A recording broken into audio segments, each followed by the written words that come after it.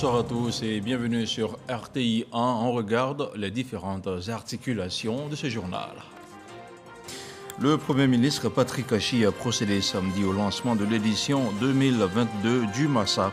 Le chef du gouvernement a invité les artistes à s'inscrire dans l'innovation afin de vulgariser leurs œuvres et la culture dans sa généralité. La foire aux créateurs va durer une semaine. Le ministre gouverneur du district autonome du Haut-Roba, Moussa Dosso, a été investi samedi. La cérémonie s'est déroulée à la place de la République de Séguéla, dans le centre-ouest du pays. C'était en présence d'autorités politiques, administratives et sociales des régions du Haut-Rodougou, du Béré et du Bafing. Et puis au Burkina Faso, un gouvernement de transition de 25 membres prévu par la charte constitutionnelle a été formé samedi soir à Ouagadougou. Il intervient deux jours après la désignation du Premier ministre Albert Ouedraogo.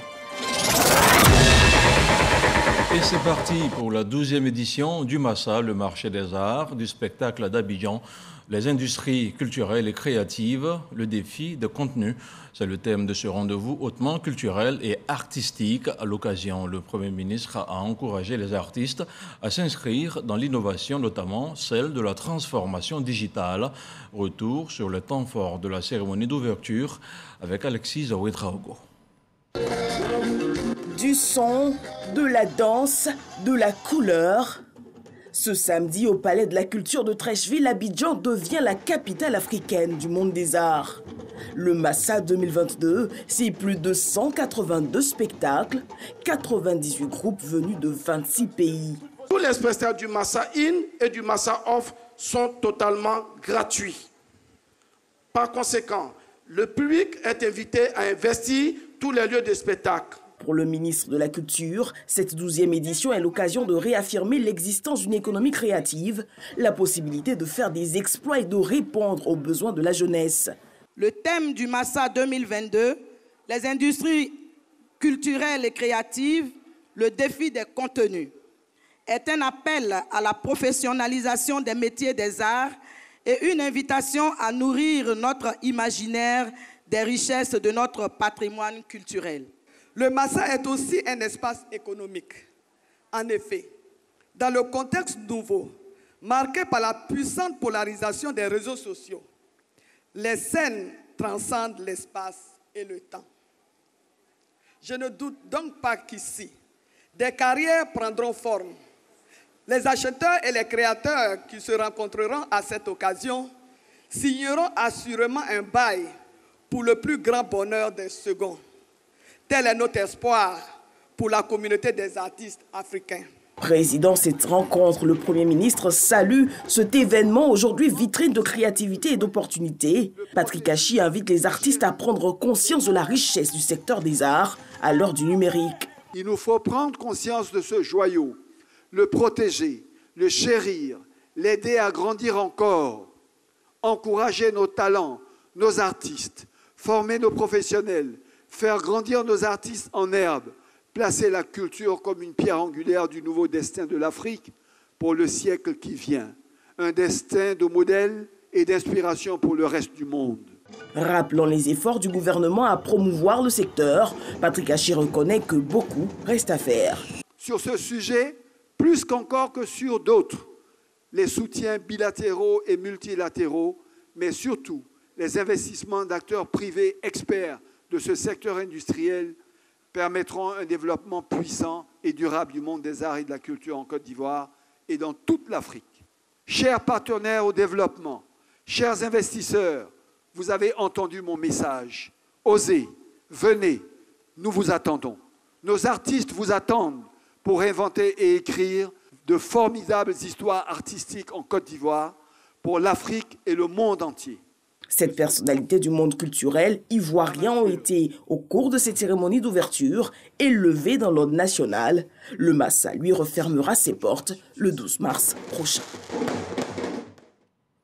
Et comme vous pouvez le voir sur ces images, celles qui ont précédé le Massa, le marché des arts du spectacle d'Abidjan a démarré samedi au Palais de la Culture de Trècheville. Une cérémonie d'ouverture riche en son et en lumière avec le groupe Magic System. Comme ils savent si bien le faire, les magiciens ont fait chanter et danser le public venu nombreux pour la circonstance. Et pour continuer à parler du Massa, la ministre de la Culture, de l'Industrie des Arts et du Spectacle était ce soir l'invité de la rédaction de RTI1 avec Marie-Laure Ngouran, Arlette Badou-Nguessan est revenu sur les innovations 2022 du Massa. Voici un extrait de son passage.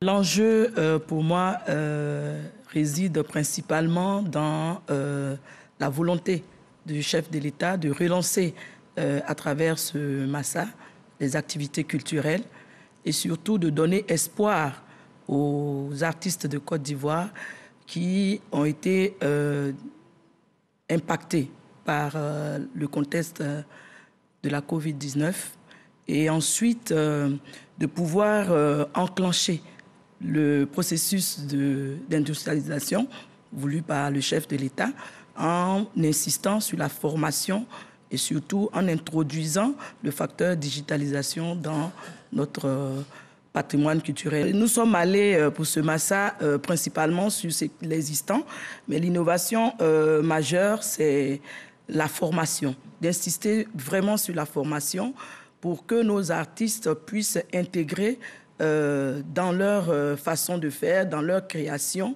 le volet digitalisation, comme le Premier ministre l'a dit hier parce qu'avec euh, la situation de Covid, il nous faut euh, changer de, paradigme, de, manière de faire et surtout, euh, en plus de l'exercice classique des activités culturelles, il va falloir maintenant intégrer ce volet digitalisation pour être professionnel et surtout vendre convenablement les produits culturels. je voudrais encore insister pour dire que tous les spectacles, tous les 200 spectacles sont gratuits euh, et euh, nous avons pris des dispositions au niveau du transport pour euh, acheminer les, publics sur les différents sites.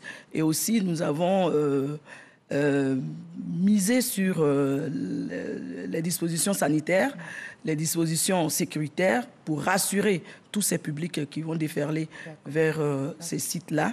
Et je pense que... La fête sera belle. La fête sera belle. Faisons à présent un petit tour hors de la Côte d'Ivoire avec le président du Sénat qui est en mission à Rabat, au Maroc. Jeannot Aoussoukwadio participe à la 11e conférence de l'ACK, l'association des Sénats, Shura, des conseils équivalents d'Afrique et du monde arabe. Le patron de la Chambre haute du Parlement a été reçu en audience par le président de l'ACK. On fait le point de la rencontre avec Herman Guivet, envoyé spécial au Maroc. Une audience au cours de laquelle les deux parties ivoiriennes et marocaines ont réaffirmé les liens historiques qui lient leurs deux pays, saluant de même l'excellente santé de leurs relations actuelles. Nous avons profité de cette occasion pour renforcer la coopération ivoiro-marocaine à travers la signature d'une convention de partenariat entre le Sénat marocain et le Sénat de Côte d'Ivoire. Aujourd'hui, je dirais qu'elle connaît sa grande splendeur avec Sa Majesté le roi Mohamed VI et le président Alassane Ouattara, la coopération de sa, splendeur totale. En 2015, au titre des investissements directs étrangers, le Maroc était numéro un, le premier partenaire de Côte d'Ivoire en termes d'investissement étrangers.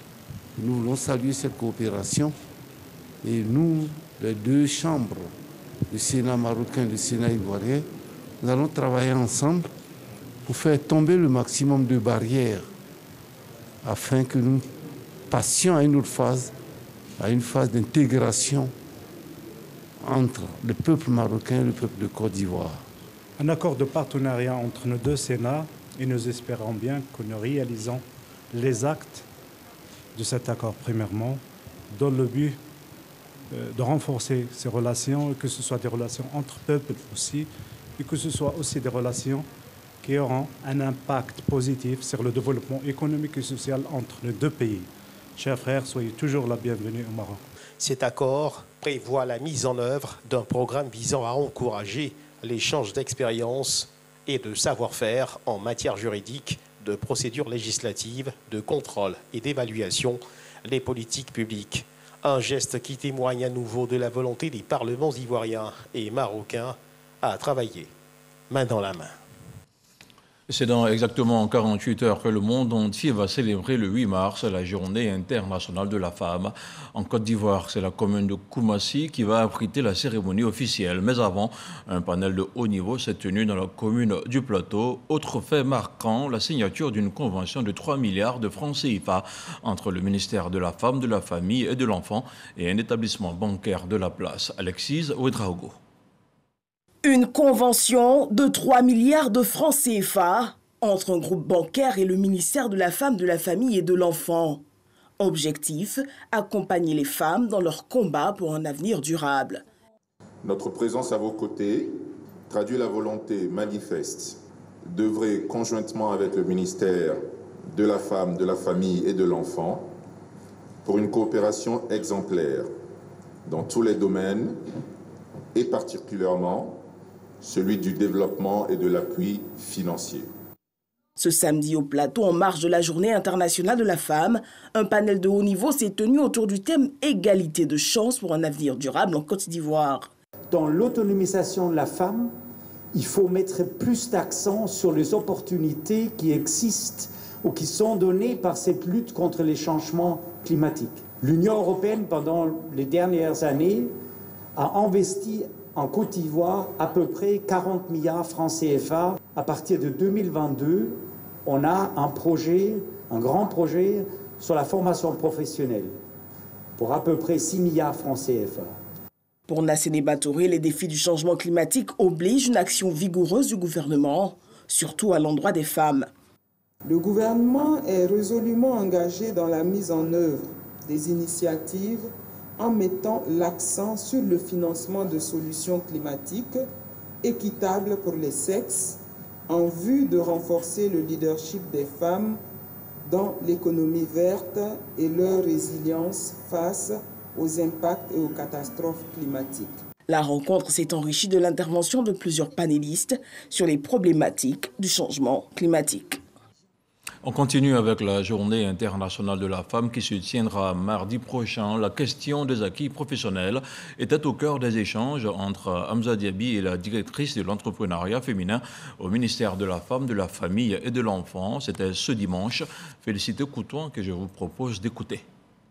L'objectif donc de cette célébration, c'est progressivement d'évaluer les avancées, les efforts qui sont réalisés par les différents pays, les États pour faire en sorte que les droits des femmes soient de plus en plus réalisés et que les inégalités de ce fait puissent s'estomper pour permettre un développement harmonieux et une justice sociale. la plupart des droits sont suffisamment respectés, je ne dirais pas entièrement respectés. Je ne peux pas dire que ça va tout à fait, parce que j'espère, j'attends mieux que cela. Mais aujourd'hui, nous constatons qu'avec la politique de l'école obligatoire, les petites filles ont accès à l'école beaucoup plus d'opportunités sont offertes aux femmes pour réaliser leurs droits, tous les droits. Il ne peut pas avoir de développement durable, vous convenez avec moi, si les, les conditions de vie sociale ne sont pas améliorées.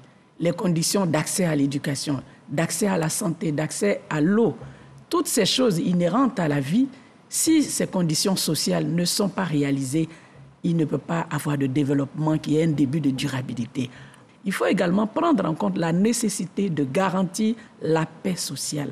Et la femme doit être un élément, un acteur principal de, de la recherche de la paix, de la cohésion. Elle doit être impliquée au même titre que l'homme dans les aspects de recherche. Et le volet environnemental Du point de vue de l'environnement, c'est notre berceau à tous. L'environnement, nous y baignons, nous y vivons, nous profitons de ces ressources. Et si nous ne préservons pas ces ressources et que nous les gaspillons, nous arriverons progressivement à ce que les générations futures n'aient plus rien dans lesquels baigner et tirer profit de ce dont nous tirons profit aujourd'hui.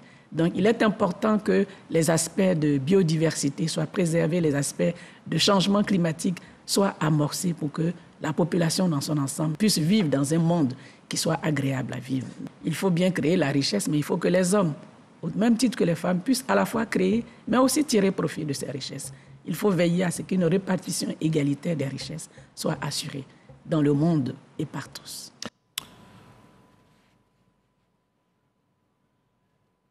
Je vous le disais en ouverture de cette tranche d'information à la place de la République de Séguéla, le ministre-gouverneur du district autonome du Haut-Roba a été officiellement installé dans ses nouvelles fonctions. En présence du président de l'Assemblée nationale par intérim, Adama Bictogo, Moussa Dosso s'est engagé à travailler pour le rayonnement du district dont il a désormais la charge. À Boussanogo. Ambiance des grands jours à la place de la République de Seguila, capitale du Worodougou. Forte mobilisation des populations du district autonome du Woruba, regroupant les régions du Worodougou, du Beri et du Bafing. Ces populations sont venues dans leur diversité pour un seul mobile. Participer à l'investiture du ministre-gouverneur du district autonome du Woruba, Moussa Dosso. Une mobilisation qui témoigne de leur soif au développement et de leur soutien au président de la République Alassane Ouattara. Et c'est en présence du président de l'Assemblée nationale par intérim Adama Bictogo et des élus et cadres des trois régions que Moussa Dosso a été officiellement installé dans le fauteuil de ministre-gouverneur du district autonome du Woruba. Moussa Dosso témoigne sa gratitude et sa reconnaissance au président de la République Alassane Ouattara pour les projets réalisés au profit du district autonome du Woruba, dont certains sont en chantier. Il entend pour cela mener des actions concrètes au profit des populations. Il s'agira pour nous donc de mener de façon diligente des actions concrètes au profit de nos populations en matière d'eau, en pompe hydraulique améliorer les villages qui en sont dépourvus afin de rendre l'accès de l'eau potable à tous.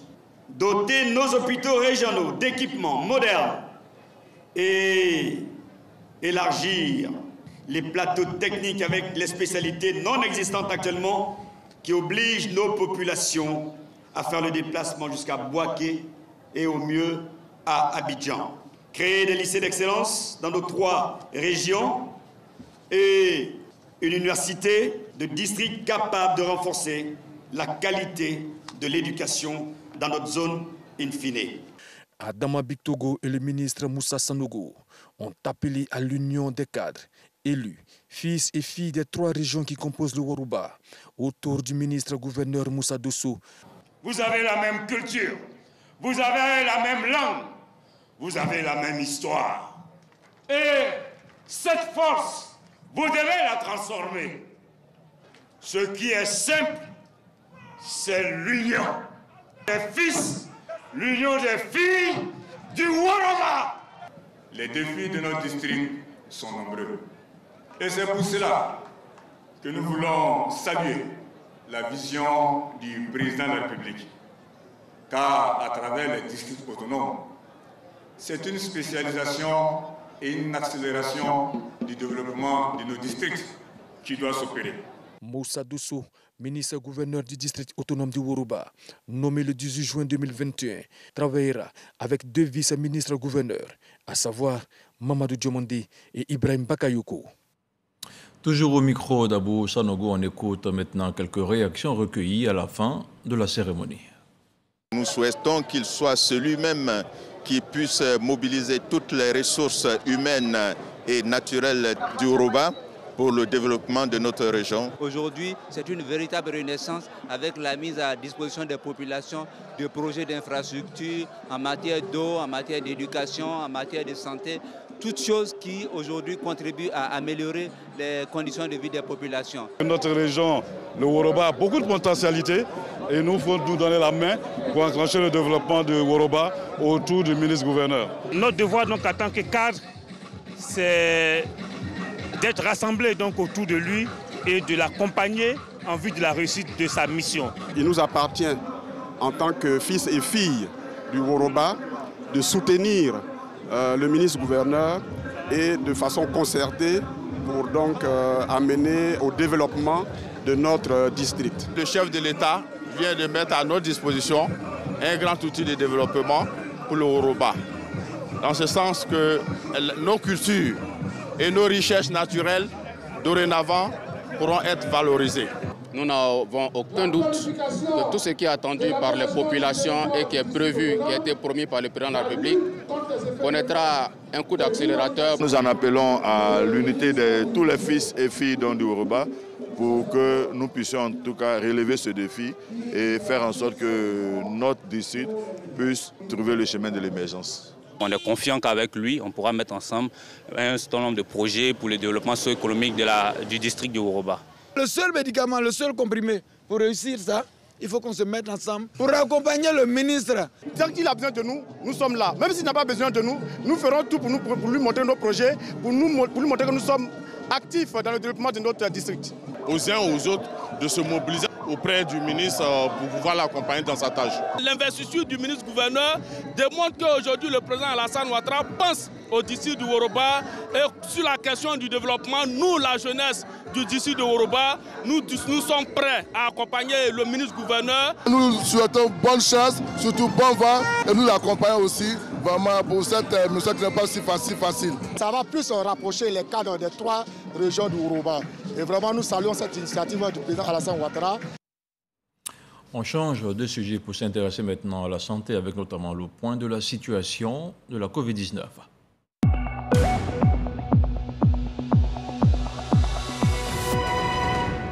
Le ministère de la Santé, de l'Hygiène publique et de la couverture maladie universelle a enregistré ce dimanche 6 mars 10 nouveaux cas de Covid-19 sur 2508 échantillons prélevés, soit 0,4% de cas positifs, 69 guéris et 0 décès.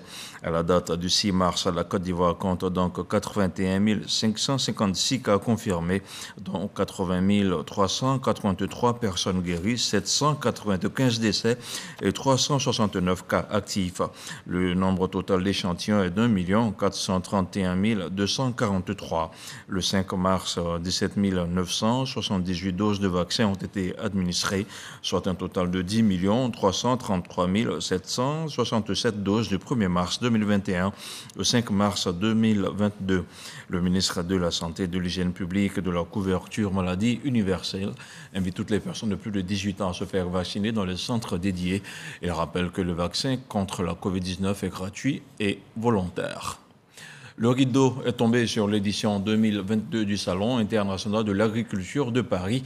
Malgré la, crise sanitaire et quelques appréhensions, il y a eu de l'engouement. De son côté, le ministre Kobena Kwasi Adjoumani a jugé satisfaisant la participation de la Côte d'Ivoire, une participation qui s'est soldée par plusieurs partenariats noués et des annonces d'investissement dans le secteur agricole national. On regarde le compte-rendu de notre envoyé spécial, Cheikh le Salon international de l'agriculture de Paris, c'est fini. Une 58e édition placée sous le signe des retrouvailles après le rendez-vous manqué de 2021.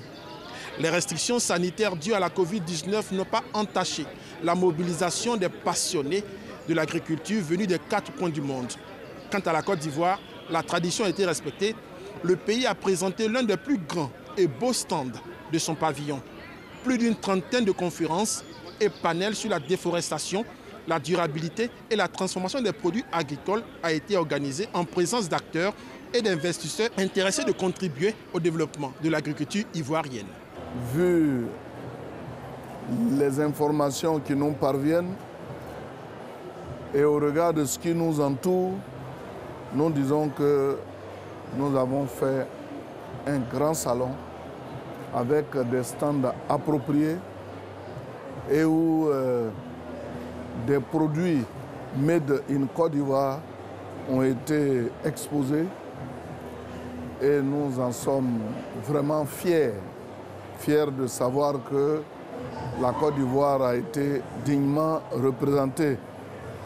Grâce donc euh, à son Excellence M. Alassane Ouattara, au Premier ministre, nous avons pu avoir des moyens pour pouvoir faire ce salon. L'objectif aujourd'hui, c'est de faire en sorte que nous ayons une économie structurelle basée sur la notion de transformation, sur la notion de conservation. Dans l'ensemble, la 58e édition du CIA de Paris est un pari réussi de la participation de la Côte d'Ivoire qui démontre ainsi toute sa place dans l'agriculture mondiale. Merci, Cheikh.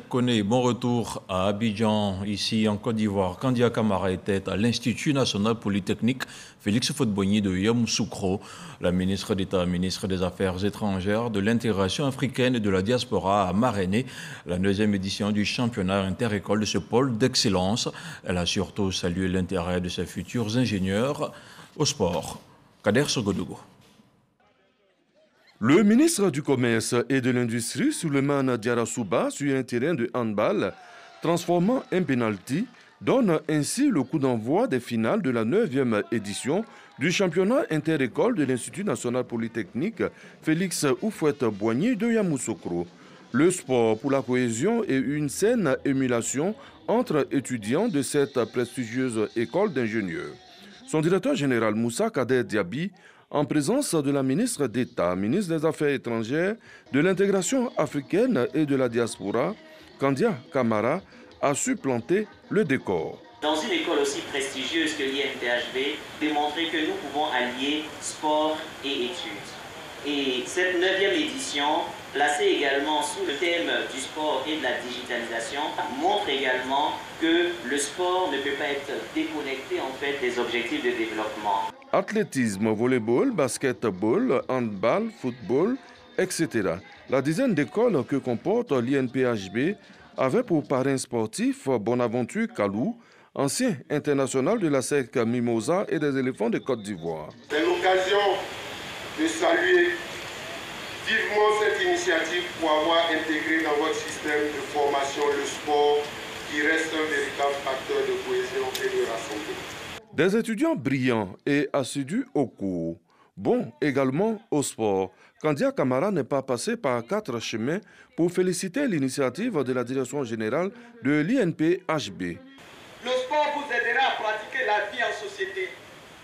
Il favorise en effet la cohésion entre les acteurs, le respect de l'autre, l'humilité face à l'effort, le dépassement de soi, le courage et aussi la passion du bien et du bon.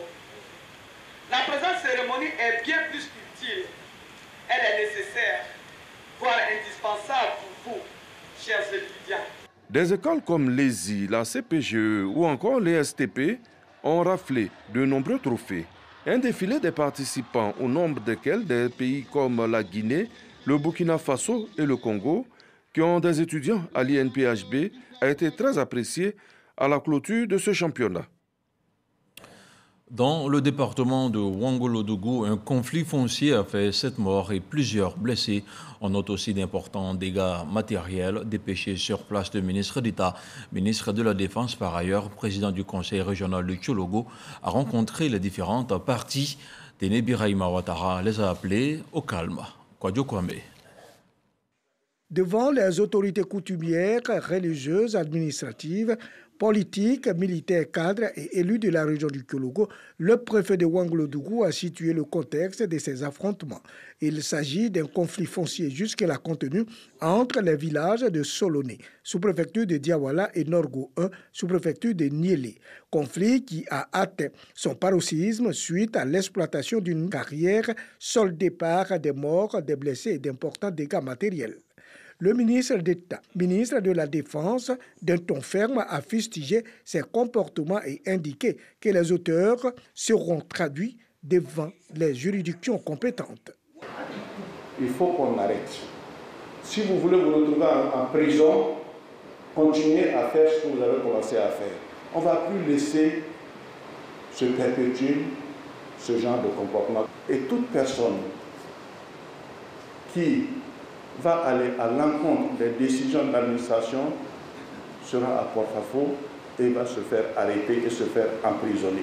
Le général des corps d'armée Touré Apalo a embouché la même trompette, soulignant que face à l'incivisme et au mépris des règles qui régissent la vie en société, des dispositions sécuritaires seront prises pour faire barrage au désordre.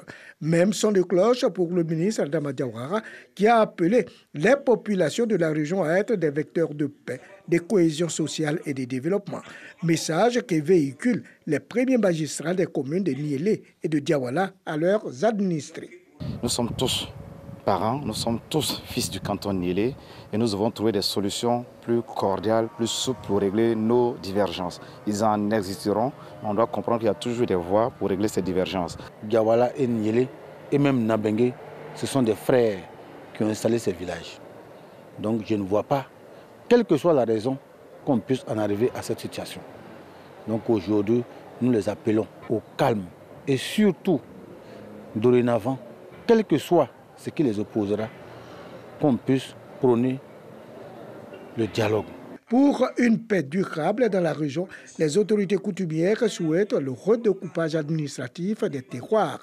Quant aux autorités administratives, le désarmement des détenteurs illégaux d'armes à feu, la création des comités d'éveil, l'ouverture des brigades de gendarmerie de Niélé et de Diawala et l'indemnisation des victimes.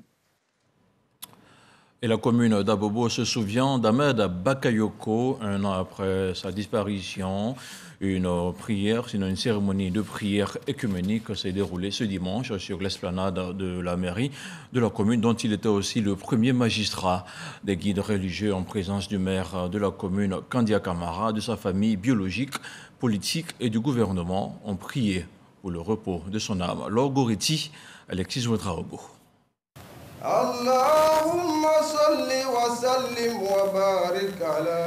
Lecture du Coran et prière pour le repos de l'âme de l'ancien Premier ministre Ahmed Bakayoko.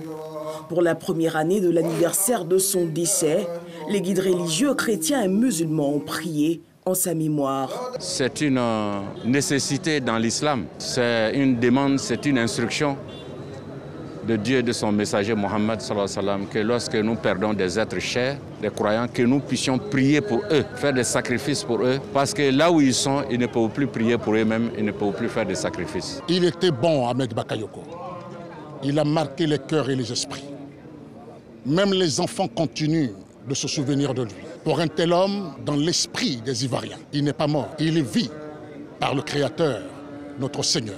En présence des membres de sa famille biologique, politique et du gouvernement, le maire de la commune d'Abobo, Kandia Kamara, a rendu hommage à Ahmed Bakayoko, l'homme du peuple. En parlant d'Ahmed Bakayoko, nous avons une pensée aussi pour sa famille. Nous prions Dieu afin qu'il les fortifie, afin qu'il leur donne la force de continuer de supporter cette épreuve extrêmement difficile que Dieu le Tout-Puissant exauce toutes les prières, toutes les bénédictions qui ont été faites pour le repos de l'âme de notre frère El Hadj Ahmed Bakayoko. Avec elle, sa formation politique, le RHDP. Cette cérémonie écuménique montre encore l'homme Ahmed, l'homme du rassemblement, l'homme euh, qui a su intégrer en lui toutes les différences. Et je voudrais, au nom du parti, au nom du président du parti, au nom de tous les cadres du parti, lui dire encore une fois de plus et dire à sa famille qu'Ahmed reste dans nos cœurs. L'ex-premier ministre Ahmed Bakayoko est décédé le 10 mars 2021. Il aurait eu 57 ans cette année. Dans l'actualité hors de chez nous, au Burkina Faso, moins de 48 heures après sa nomination, le Premier ministre Albert Ouidraogo a rendu public la liste de son équipe de 25 ministres. Certaines personnalités du régime déchu de Rock, Marc Christian Caboret, signent leur retour, mais on y retrouve aussi de nouveaux visages. Six femmes figurent parmi les 25 personnalités choisies pour conduire ce gouvernement de la transition. Et sans transition aucune, on y va maintenant pour le 7 sur 7, le tour de l'actualité dans le monde, avec cette sélection d'Alexis Ouedraogo.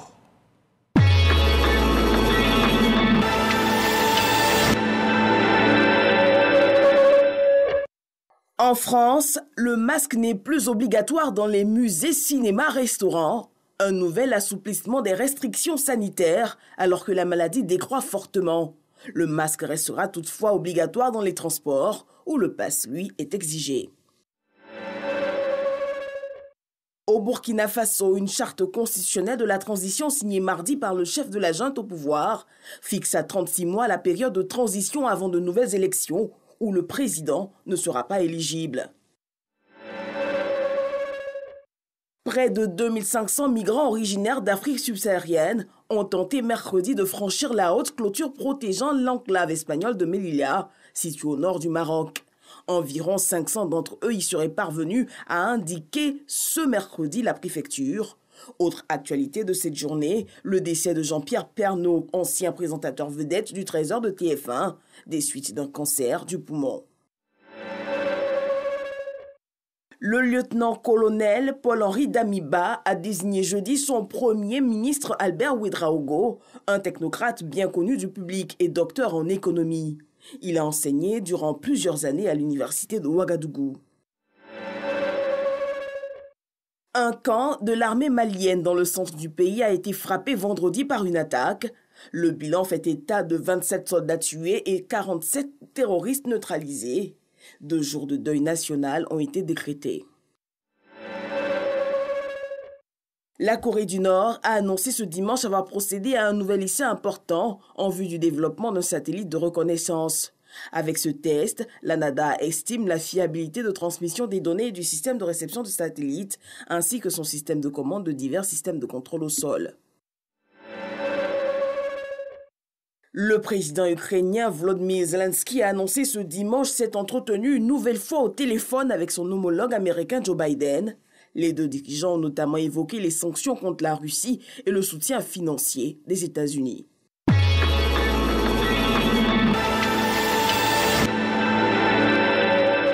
Et il est temps pour moi de vous quitter et de vous souhaiter une très belle nuit. Merci de nous avoir suivis. Bonsoir.